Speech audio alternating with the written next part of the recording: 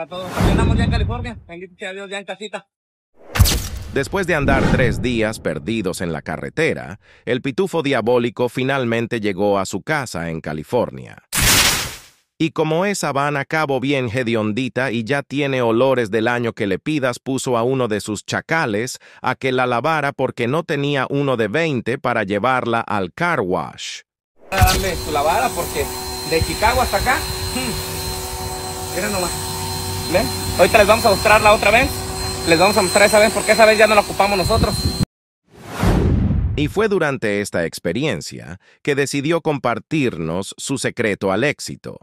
Resulta que lo único que tienes que hacer es decir mentiras hasta que tú mismo te las creas o hasta que los tarugos de tus seguidores te crean. Y para muestra un botón, Gracias a Dios. Para esa gente dice, que dice que metí 60 personas, ya quisieran. El viernes, a pesar de que fue viernes, que estuvo lloviendo, metimos 300 y tantas gentes. El viernes.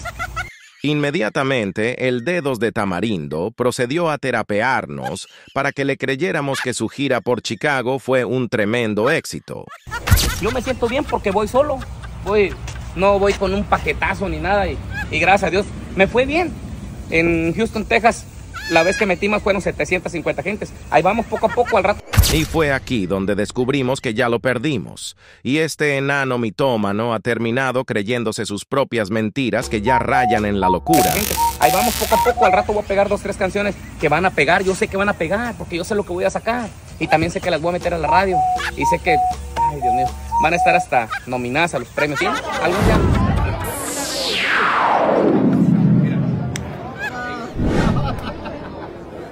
Aquí andamos, aquí andamos.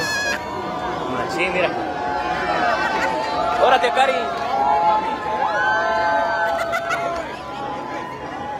Aquí les vamos a mostrar un poquito de lo que andamos haciendo. Ya hicimos, ya hicimos este, entrevistas. Aquí andamos saludando a la gente, este, cotorreando un ratito, platicando. Algún día, van a ver ustedes, primeramente Dios. Y lo voy a hacer nomás para que vean que todo se puede en la vida. Para demostrar a toda esa gente que lo logré. Que no se quedaron con las ganas de verme abajo.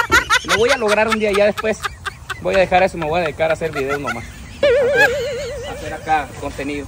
Porque esto de la música sí es bien cansado. entonces, me gusta, me encanta, por eso no lo dejo. Pero sí es una andar para arriba y para abajo, que es mucho trabajo. Y echarle todas las ganas, porque esto andar para arriba y para abajo, ay, ay, ay. Sí que se cansa uno. Pero comen bien los muchachos, es lo bueno. No me puedo quejar.